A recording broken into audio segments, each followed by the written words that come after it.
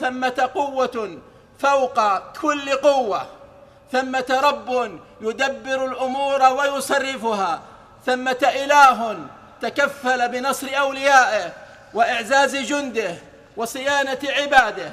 قال الله تعالى واعد الرسل وأهل الإيمان معهم إنا لننصر رسلنا والذين آمنوا في الحياة الدنيا ويوم يقوم الأشهاد.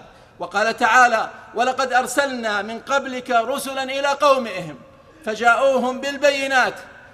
يقول جل وعلا فانتقمنا من الذين أجرموا وكان حقا علينا نصر المؤمنين. وهذا النص يبين أن أعظم أسباب النصر هو حسن الصلة بالله هو الإيمان به جل في علاه هو توثيق الصلة به سبحانه وبحمده. فعلى قدر ما مع المؤمن من حسن الصلة بالله وتحقيق الإيمان ينال من نصره وتأييده وإعانته وتوفيقه. ذاك فضل الله يؤتيه من يشاء.